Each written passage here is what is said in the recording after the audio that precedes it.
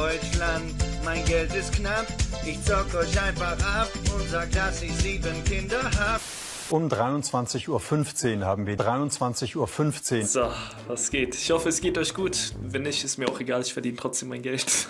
ja, ähm, herzlich willkommen zu Kleiner Fun Fact, ich weiß, sowas behält man eigentlich für sich, aber ich hatte gestern Abend mein erstes Mal, Leute. War echt krass, ne? Ohne Spaß, ich hatte echt nicht gedacht, dass alles so sauber abläuft und so. Der einzige Nachteil an der ganzen Sache ist, ich muss das Video jetzt im Stehen aufnehmen, ja? Ich hoffe, ihr habt Verständnis. Augenblick. Warte, einen Augenblick. Was? Spaß beiseite, Leute. Ich dachte mir, ich bringe einfach so ein bisschen Abwechslung hier ins Spiel rein, deswegen so andere Perspektive und so. Das Gute an der neuen Perspektive hier ist, man sieht hier einfach mein Lego Star Wars The Clone Wars Republic Starfighter von Anakin. Ich finde den so cool, weil man hat...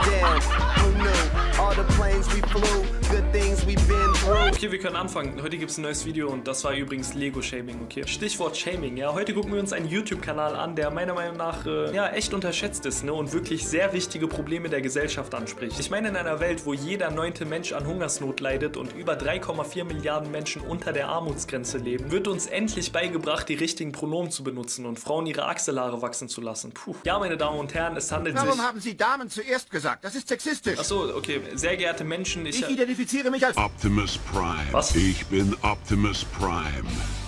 Und ich schicke diese Botschaft an Dass er alle. sich sogar noch dahinstellt mit diesen Schamhaaren im Gesicht. Das ist ja das.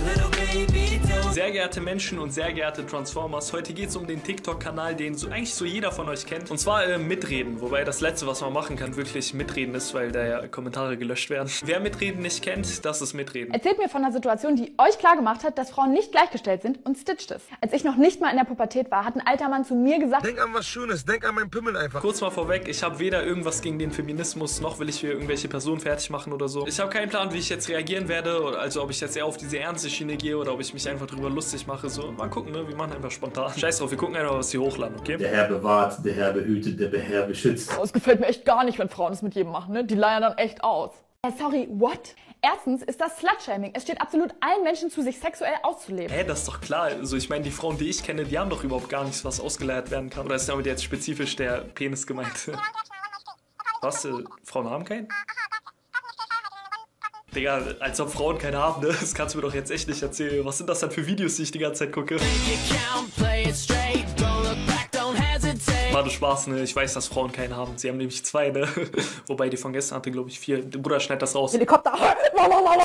Boah, ey, kannst du dir mal deine Achseln rasieren? Ja, du findest meine Achselhaare schlimm, dann wart mal ab, bis du meine Arschhaare siehst. Das ist ekelhaft. Nein, glaub mir, die schmecken besser, als sie aussehen. Your body, your choice. Seit 11 Uhr steht fest, der Friedensnobelpreis 2000. Ey Maria, was bedeutet eigentlich nicht-binär? Nicht-binär, also auf Englisch non-binary, bedeutet nicht männlich und nicht weiblich. Darunter verstehen sich Menschen, die nicht in das binäre Geschlechtersystem passen. Nicht-binäre Menschen können trans, cis oder inter sein, sie können einen weiblichen, männlichen oder anderen... Okay, dagegen will ich absolut nichts sagen, ja. Und zwar, ich kenne selber jemanden, der ist nicht binär. Optimus Prime. Nee, ohne Spaß. Dazu habe ich sogar eine Story, ne? Okay, passt auf. Und zwar, äh, die Person, ne? Sie ist eine Frau, aber sie war halt früher ein Mann, ja. Also so mit Jarak und so. Sie wohnt auch hier in der Nachbarschaft bei uns. Jedenfalls, sie lässt sich richtig durchbumsen von allen, ne? Und das Krasse ist, jetzt schneidet euch an, sie macht alles für, ich glaube, nur 10 Euro oder so, ne? Ohne Spaß, wie kann man sich so unterm Wert... Ja, Arvin, du hast deinen Schlüssel bei mir vergessen. Alles gut, Bruder, legst da hinten hin, neben dem 10-Euro-Schein da. Jedenfalls, ich hab... Aber nochmal, wer sich fragt, was meine Meinung zu den Geschlechtern ist, Zwei, sie sind keiner mehr, keiner weniger. war natürlich nur Spaß, ne? Es gibt mehr als zwei Geschlechter. Optimus Prime. Zwei Milliarden Menschen haben ihre Tage und das Blut in der Tamponwerbung ist immer noch blau. Oder roter Glitzer. Das nennt man übrigens Periodenshaming. In irgendwelchen Horrorfilmen gucken wir zu, wie das Blut nur so spritzt. Ja, klar, weil eine Werbeanzeige ja auch genau dasselbe ist wie so ein Horrorfilm irgendwie im Kino oder so, ne? Bruder, wie viele Shaming-Begriffe existieren bitte? Ey, sag mal bitte, sind das so ausgedachte Wörter oder gibt's das alles wirklich? Ey, sorry, ne? Aber diese Seite denkt auch, dass das Verhältnis zwischen Männern und Frauen auf der ganzen Welt so ist.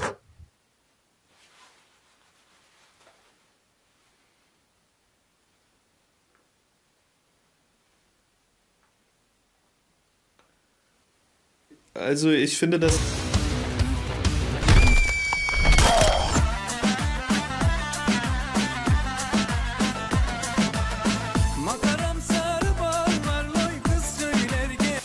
Aber nein, so ist das nicht. Also bei den meisten jedenfalls nicht, ne? Aber bei mir schon.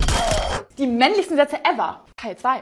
Also ich kann mich echt gar nicht mehr erinnern, weil ich das letzte Mal geweint habe. Ich schon, Digga, als der letzte Finanzamtbrief kam. Weinen und über Gefühle sprechen wird zwar gesellschaftlich als unmännlich gesehen, aber ist tatsächlich sehr wichtig für die psychische Gesundheit. Hä, das ist Bullshit. Ich meine, habt ihr jemals Sportakus oder so weinen sehen?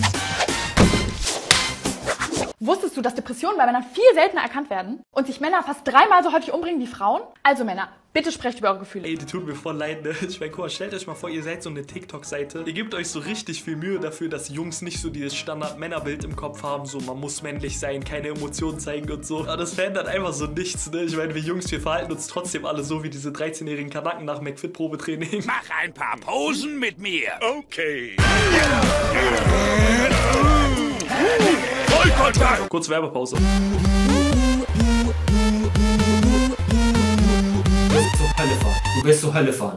Hast du schon mal darüber nachgedacht, Freiwilligenarbeit in zum Beispiel Afrika zu machen? Denk noch mal darüber nach.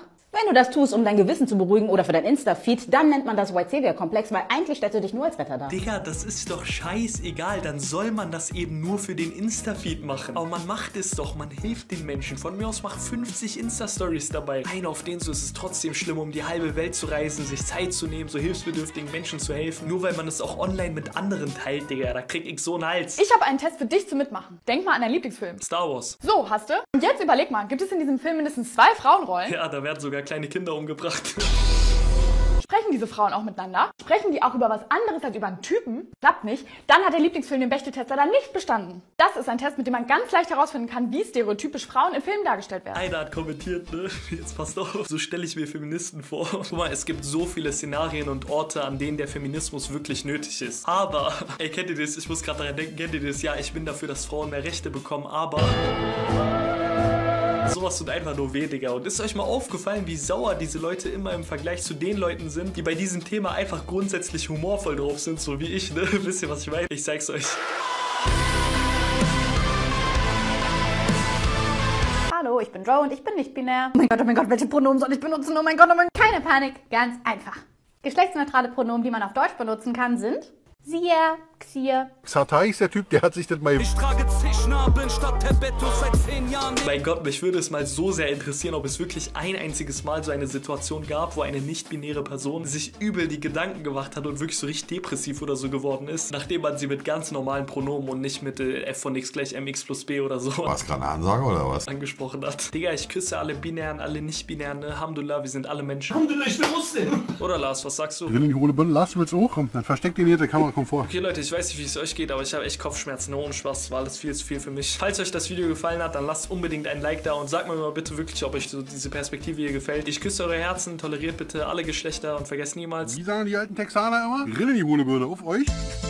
Oh, ganz kurz Stopp, bevor das Video zu Ende geht. Die, die mir auf Instagram folgen, die wissen, dass ich vor drei Monaten ein Lichtschwert bestellt habe und richtig heiß drauf war. Die ganze Zeit habe ich drauf gewartet. Und jetzt ist es endlich angekommen und ich habe ein Video dazu auf meinem Zweitkanal gemacht. Ey Leute, es ist so geil. Es ist so ein realistisches, geiles Lichtschwert. Jedenfalls, äh, jetzt kommt der lustige Part. Die Firma, die das Lichtschwert gemacht hat, die sind aus Amerika und sie werden auch das Video auf dem Zweitkanal sehen, obwohl sie gar kein Deutsch können. Deswegen tut mir bitte den Gefallen, das war richtig korrekt von euch. Die waren so lieb zu mir. Bitte geht auf den Zweitkanal und lasst einfach ein Like da auf dieses Video. Erster Link in der Videobeschreibung. Ich küsse euch.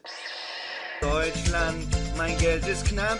Ich zock euch einfach ab und sag, dass ich sieben Kinder hab. Ich schwör, ich hab auch sieben, so viel hab ich getrieben.